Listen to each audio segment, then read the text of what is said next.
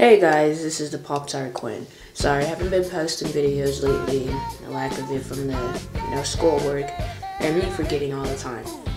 So, for this process to work, your device has to be jailbroken or it will not work.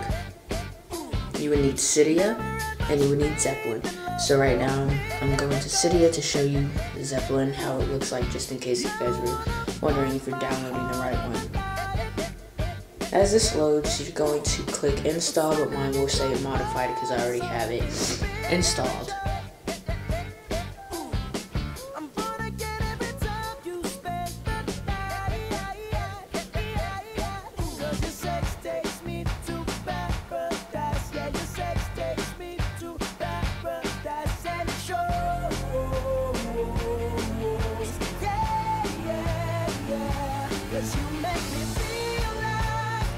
If you guys are wondering what Zeppelin does, as you see on my taskbar, it shows basketball.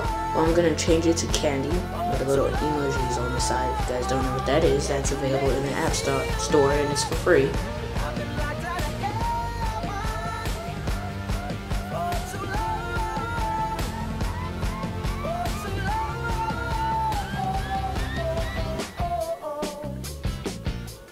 As you see, my device is moving really slow. and It's getting annoying.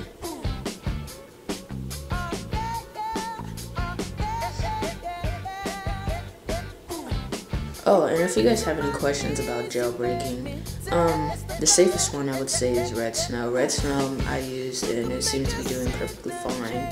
People say it makes your device slow on other ones, but mine is not slow, always been slow for some reason. Now as you see, it won't have an icon once you download it.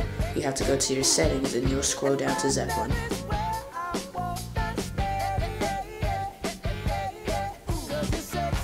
Once I enable the bar, I get to choose all types of bar, um, pictures to put on my status bar.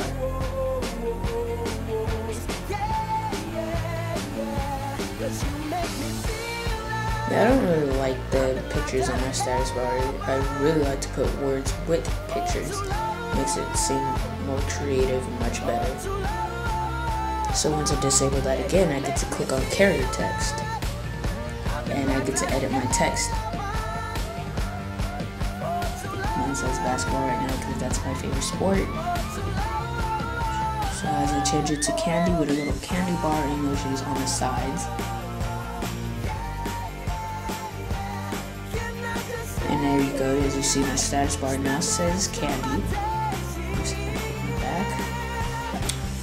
Once I disable it, I mean enable it again, uh, it won't show it anymore. So I'll put my favorite icon for example. And as you see my carrier text is still there, but it just won't show because I enabled the photo.